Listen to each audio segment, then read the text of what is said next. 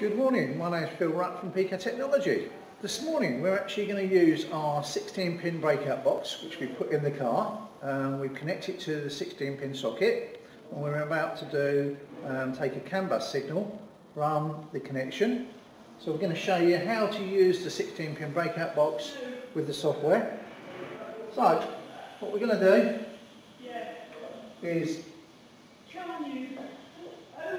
open up all of our channels on 5 volts, 5 volts there, 5 volts there, and actually go up there to our preset time. So what we'll do is start the car up, and you've got a view inside the car of how we've connected.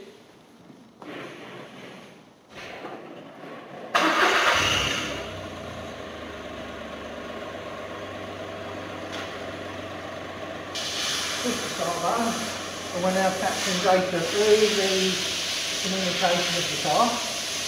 So we're actually able to look at our signal, um, see what is happening.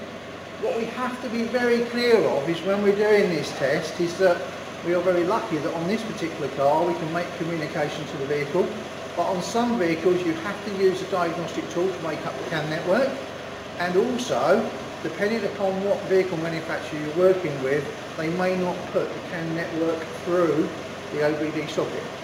Um, remembering that on certain other vehicles like Toyotas, we can also pick up speed signals from Terminal 9. So there's an awful lot of data we can get out on the breakout box, depending on what the manufacturer wants to give us.